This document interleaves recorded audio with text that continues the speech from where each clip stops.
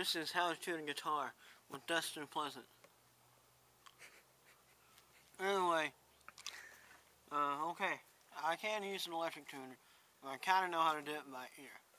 Just kind of do this. See? Those sound really alike, so that's good tuning. Those sound good too. They sound pretty much just alike. It means it's good tuning.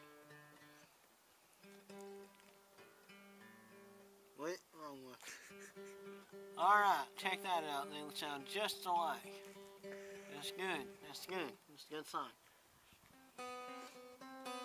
That's that's that's uh that's off a little bit, so that's not a good tuned string. So we're going to go down. They sound they sound alike.